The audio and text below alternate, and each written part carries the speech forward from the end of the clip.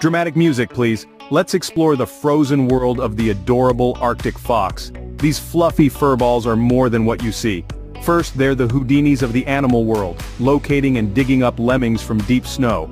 Second, they're fashionistas with fur changing color as per seasons, white in winter, brown in summer. Third, they're the cold weather heroes, surviving temperatures as chilling as minus degrees Fahrenheit.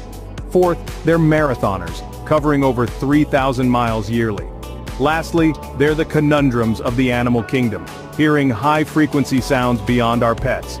And that's your quick minute on the fascinating Arctic fox. Stay tuned for more.